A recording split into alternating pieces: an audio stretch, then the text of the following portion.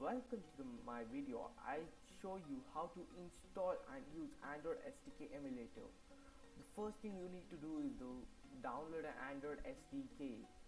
The link is in the description and then the downloaded file looks like this something like Android SDK R this is the version where uh, my version is like 24.1.2 then next tar then just you need to extract the zip for the tar folder not actually the zip folder it's the tar dot tar folder.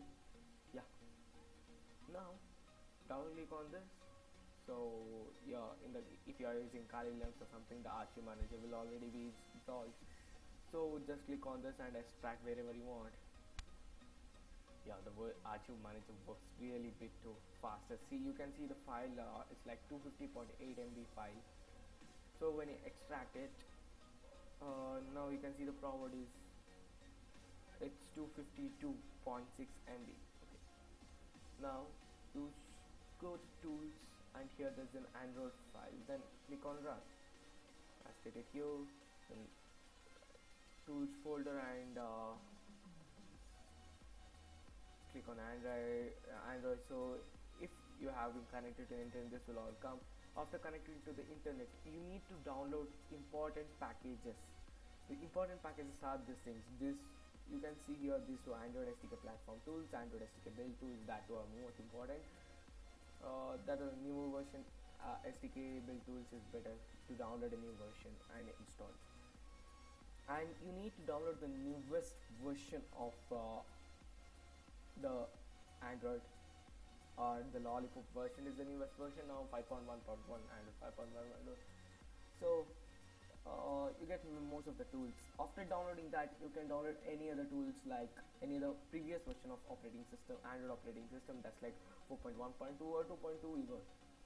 After that you need to download all these extra supports. So it will be a good thing. So you can use it a lot better and then just click on install the, the how many packages ever it is. Then just click on accept license and just click to install. If you have the internet all these things will be downloaded. It will take some more time to download.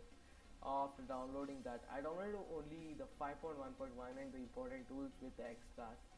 So the downloaded file looks like something like this.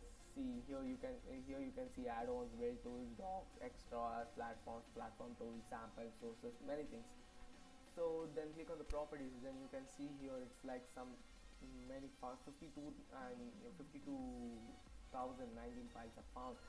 And it's nearly 8.5 GB so you can see from 250 MB we have downloaded till 8.5 GB the extracted files.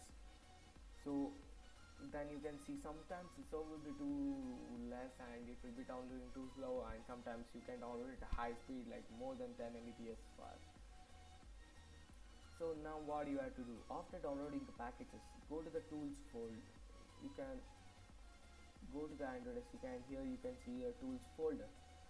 Uh, in the tools folder uh, just click on android file then click on run. Then your you need to go to the tools option here